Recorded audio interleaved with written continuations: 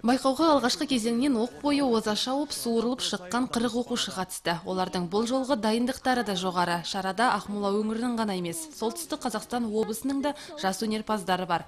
Жарыстың ережесі сол өзгермеген. Өлеңді мәнерлеп оқу ән айту хореография музыкалық аспапта ойнау сияқты төрт аталымнан тұрады. Мен бұл сайысқа ә, үлкен жауапкершілікпен дайындалдым. Анаға тағзым деп аталғандықтан ә, ананы құрметтеу керек. Сол үшін ә, көп дайындалдым осы байқаудан ә, қатысқан балалар өздеріне үлгі алып өз аналарына да осындай сайыс ұйымдастырады деп ойлаймын Тағы бір ерекшелік жарысқа қатысқан ұлты орыс, ингуш, неміс жастар қазақ тілінде ән айтып, өлең оқып мемлекеттік тілді еркін меңгергендерін аңғартты.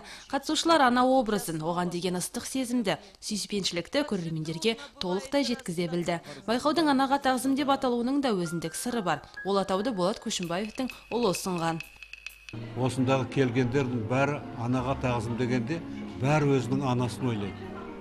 Анасы осы дүниеде болса да өткен дүние өтіп кетсе де бәрі анасын солай еске түсіреді. Сондықтан ә, ананы сыйлау ананы ұмытпау бұл үлкен сондай керемет саясат бірінші саясат екінші тәрбие. Осында естіген халық бірге қатынасқан халықтың бәрінде ойында жүру керек. Осылай ананы сыйлап әр әр тақырыпта. Анаға тағзым емес басқа тақырыпта. Бірақ ана анаға туралы. Де, осының жалғасын табады деп ойлаймын тағылымы мол байқаудың қорытындысы бойынша мәнерлі өлең оқудан еркежан ахметбекова хореографиядан айыртау балалар үйінің тәрбиеленушілері. Ән айтудан мәрзия қағазбек бас жүлдені иемденді жеңімпаздар бағалы сыйлықтармен марапатталды.